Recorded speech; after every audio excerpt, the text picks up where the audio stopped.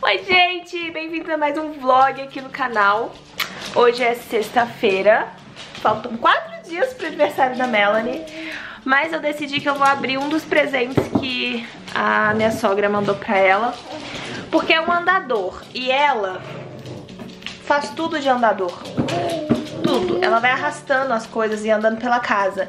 Então, minha amiga ontem falou abre logo esse andador, porque senão ela nem vai usar. Se você for ficar esperando, ela não vai usar. Então abriremos. Você quer abrir? Você quer abrir o andador? Vamos abrir? Eu tô com a mesma roupa que eu gravei no último vídeo. Vem cá, vamos abrir. Vem cá, olha só. Você pode rasgar esse papel. Assim, ó. Amo rasgar papel, só que isso não é um papel, acabei de descobrir que é um plástico. Mami vai ter que te ajudar um pouquinho, senão você não vai conseguir abrir. Peraí.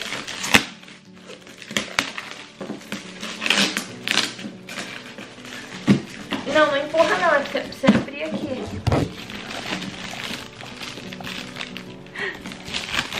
Deixa eu ver, abre aqui. Desconcentrou. Abre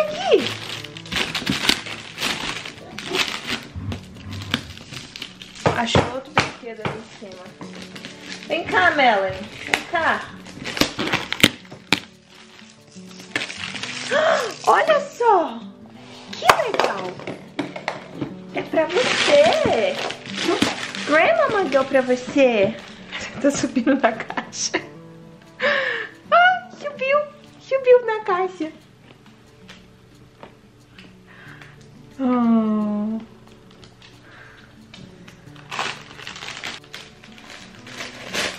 Quer abrir aqui comigo? Vamos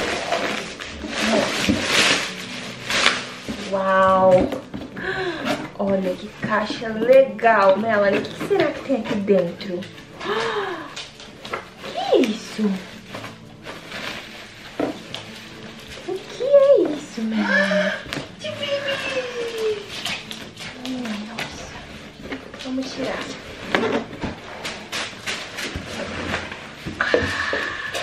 Ela tá toda interessada. Olha essa boca, o que é? Abre aqui. Uau!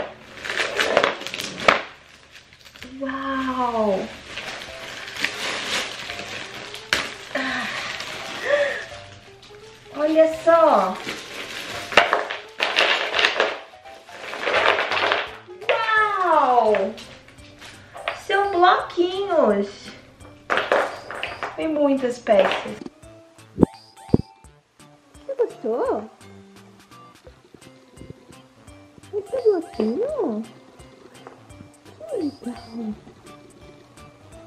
Que legal. Aí eu tenho que encaixar essa parte que empurra aqui.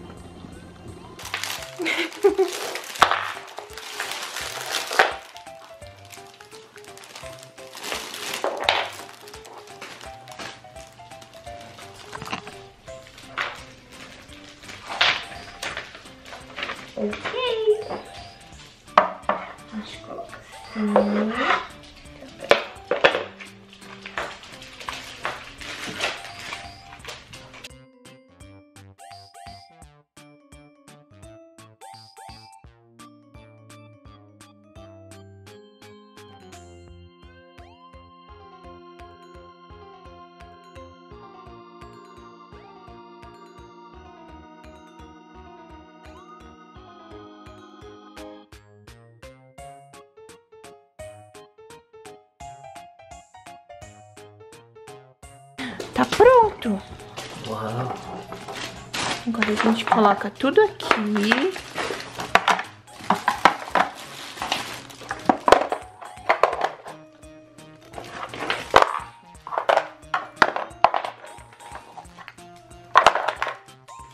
Ela tira.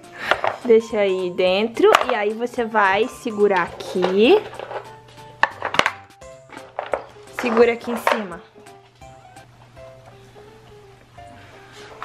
Vamos ver. Não, eu quero pegar um bloquinho. Segura aqui, amor, pra você andar. Ó. Miau.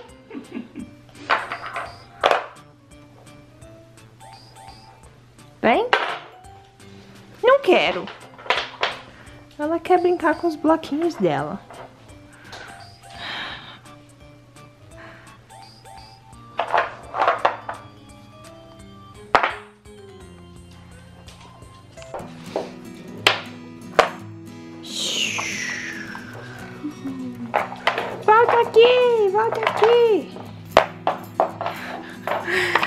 Esses bloquinhos quando eu era criança.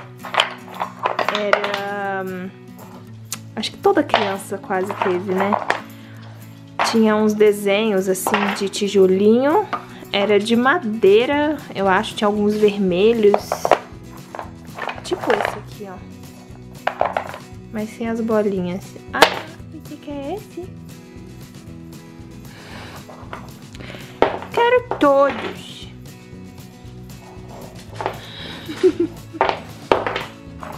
Joy. Uau. Você vai sair com o Daddy hoje? Vai? Você vai sair com o Daddy? Steve vai sair com os amigos dele pra almoçar. Oi, Joy. Oi, Joy. Oi. Oi. Tudo bem com você? Tudo bem? Algum problema? Por que você não para de olhar pra minha cara? Por que você não para?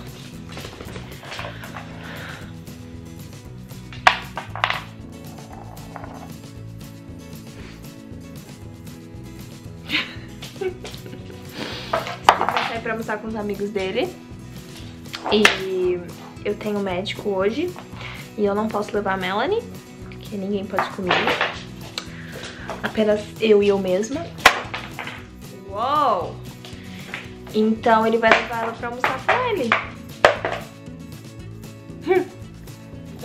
Hum. Ah, pegou?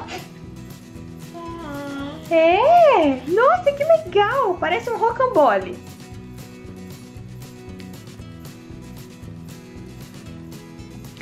Aprendeu a bater palma quando eu canto parabéns. Vamos ver se ela vai fazer. Oh, é só se segurar em cima. Você tá fazendo certo, mas é pra segurar em cima. Vem cá, olha pra mamãe. Psiu, Melanie. Não quer nem saber de mim. Melanie. Melanie, parabéns pra você nessa data querida. Não vai bater palma, né? Você tá muito ocupada. Ma Joy, o que foi, Joy? O que que foi? Você tá muito carente hoje. Você tá muito carente. Ai, esse nariz, esse nariz, esse nariz. Olha, daqui a pouco você vai subir em cima de mim. Né? Melanie, parabéns pra você nessa data. Como se eu nem tivesse aqui. Compensação, a Joy não, não me dá dois minutos de sossego.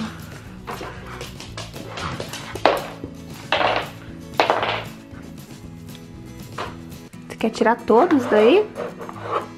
Fala assim, thank you, grandma. Thank you. I love it.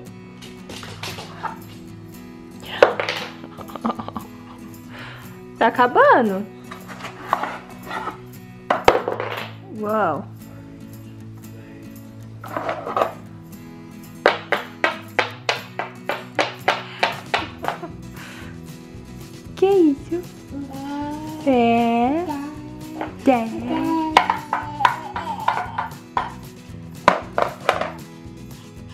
Vamos tentar o parabéns de novo? Parabéns pra você nessa data querida.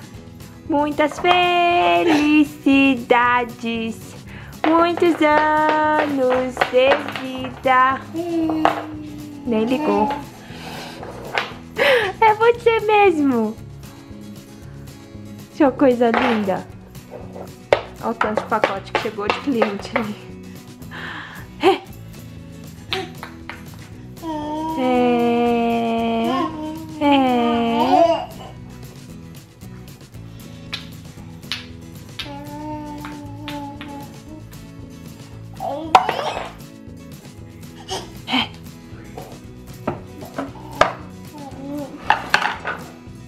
Eita. E agora?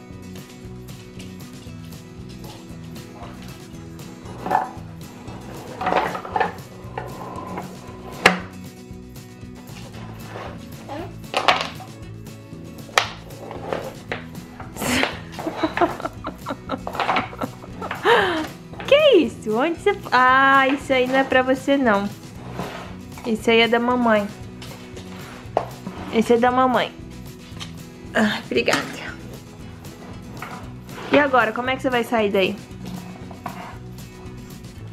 Termina de passar. Voltou?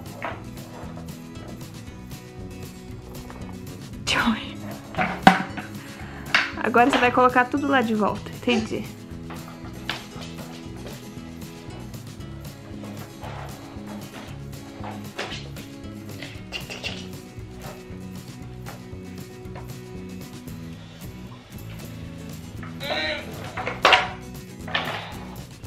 Sentar aqui? Pode sentar aqui. Colocar o pezinho aqui dentro. E mamãe pode te empurrar. Uau!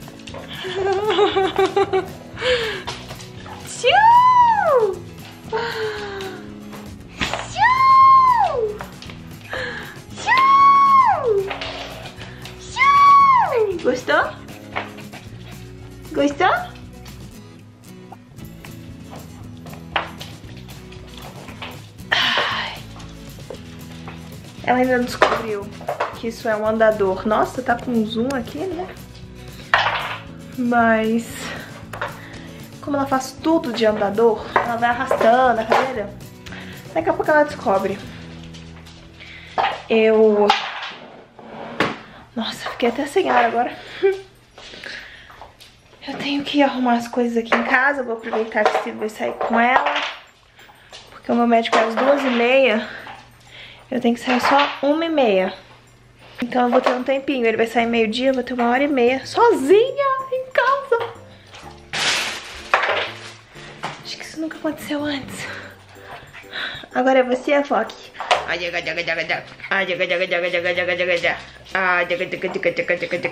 Você é louco, você é louco. E você, Melanie, que tá sentada no carrinho? Oi, Joy. Tic, tic, tic. Steve acabou de sair com a Melanie. É a primeira vez que ele sai com ela sozinho. Eu estou um pouco apreensiva. Ele sabe cuidar muito bem dela. Ontem mesmo eu saí com minhas amigas e ela, ele ficou com ela à noite, mas... Enfim, eu vou almoçar. Eles saíram para almoçar. Mirani. Mirani.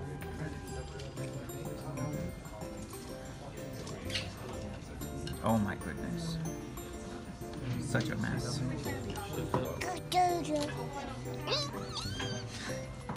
Eu vou almoçar. Daqui a pouco eu também tenho que sair. Eu vou ter que sair mais cedo do que eu imaginava. Porque eu vou com o carro do Steve. E o carro dele está imundo. Então eu vou ter que passar pra lavar o carro pra poder ir pro médico. Porque não dá nem pra enxergar. O, o vidro tá tão sujo que a gente não dirige o carro dele há séculos. Aí o vidro tá tão sujo, de poeira, que não dá nem pra enxergar. Então eu vou passar no lava-jato antes de ir pro médico. Pelo menos eu já troquei de roupa. E só vou passar um, ups, um rimelzinho, um limp tint. E é isso aí. Mostrei a barriga pra vocês. Olha a bagunça que tá aqui em cima. E olha o tamanho desta criancinha. Olha isso.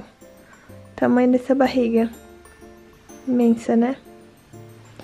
Imensa. Tô com 16 semanas, 4 meses. E aí, eu tô esquentando aqui arroz e feijão. O que mais que eu vou comer? Um peixe. Hum, tem peixe. Tá congelado, mas acho que se eu colocar na air fryer, que agora eu tenho de novo, fica pronto rapidinho. Tem tilápia. Deixa eu ver se tem mais alguma coisa aqui. Não, não tem nada descongelado. Vai ter que ser isso mesmo. E já tem um ovo cozido. Então, mais do que suficiente. Uh, choquei alguma coisa. Tô saindo de casa agora. Fica na porta. Vou com o carro do Steve, porque ele saiu com o meu. Vou mostrar a situação que tá o carro dele pra vocês. Olha isso. Olha isso. O vidro da frente. Não dá pra enxergar nada. Ele tava parado debaixo de uma árvore. Pior que fui eu que estacionei ele debaixo da árvore. Aí eu esqueci ele lá. Aí depois eu trouxe ele aqui pra vaga. Nossa, tá muito sujo.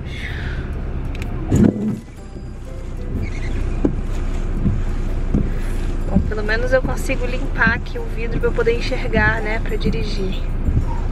Mas eu vou ter que passar num,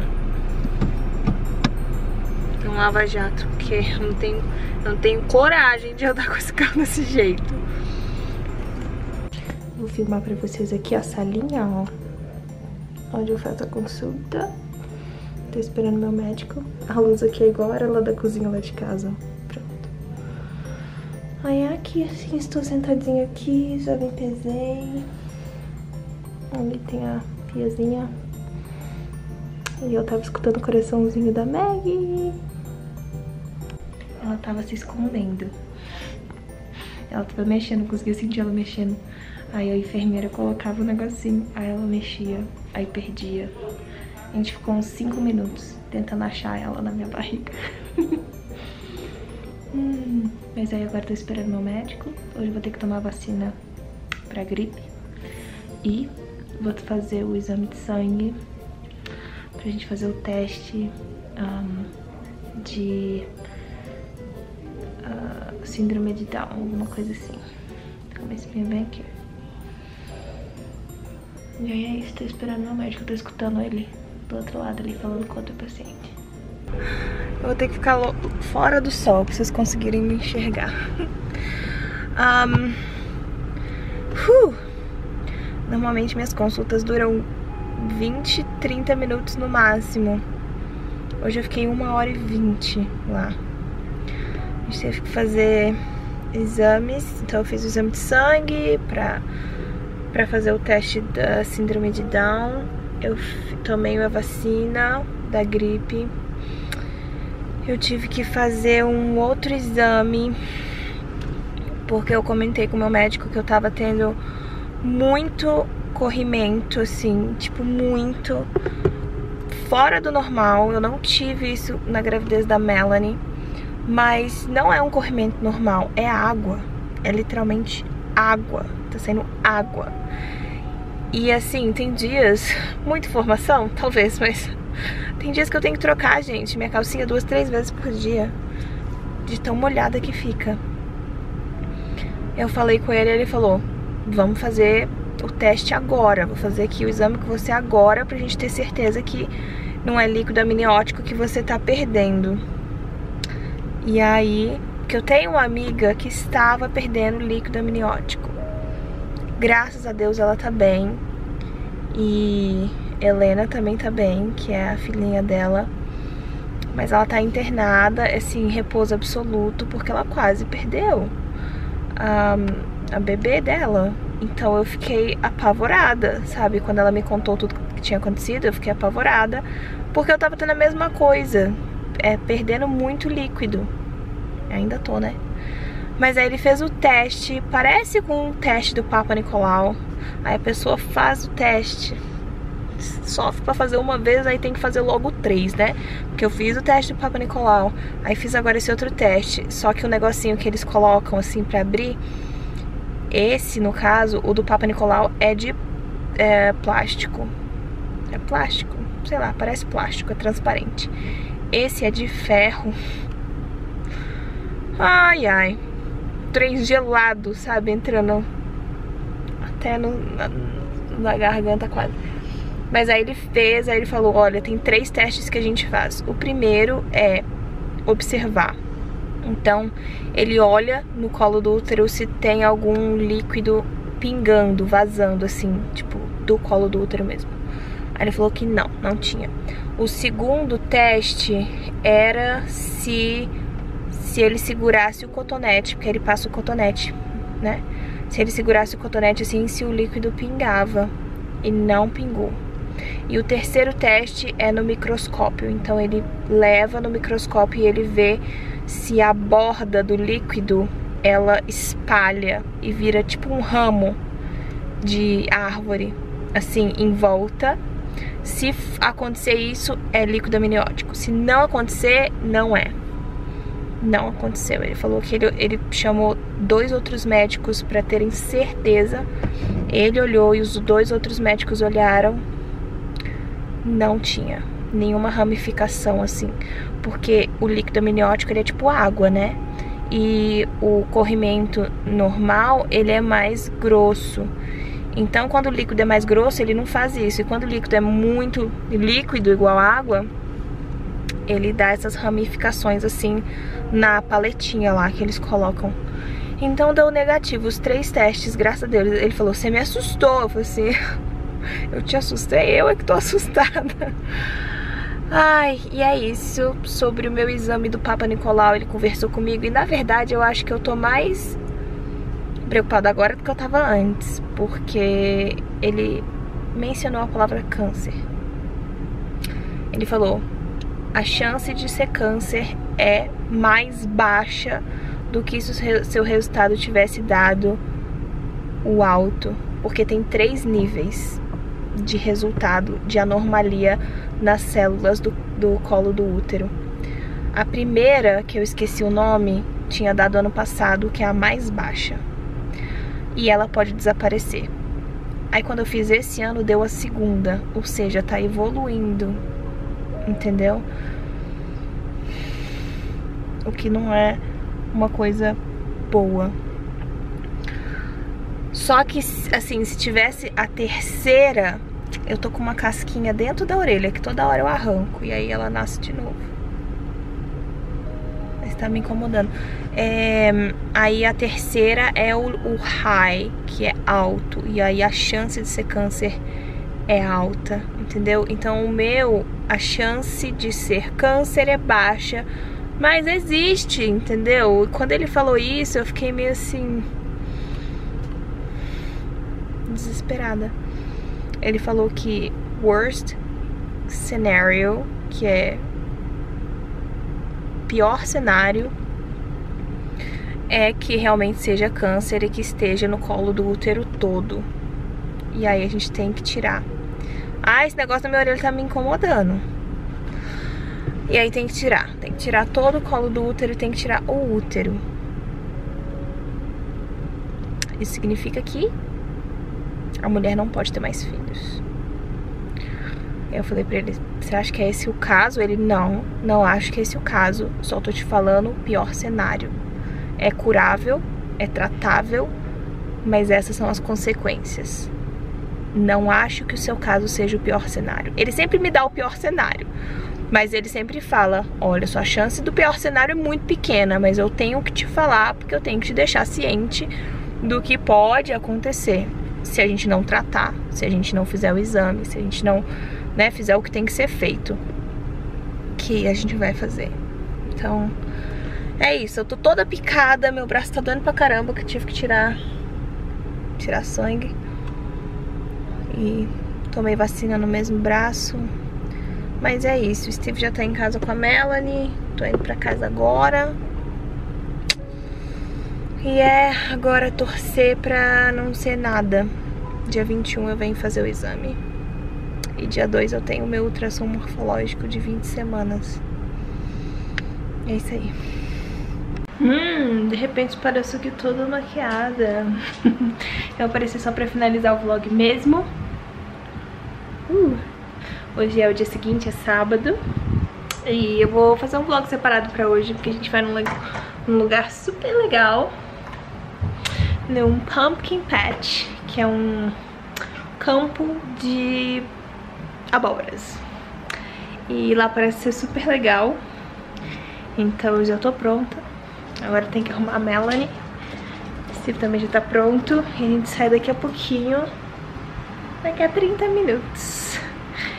Então, é isso. Espero que vocês tenham gostado do vlog de hoje. Um beijo pra vocês. E até o vlog de hoje, que eu vou continuar agora.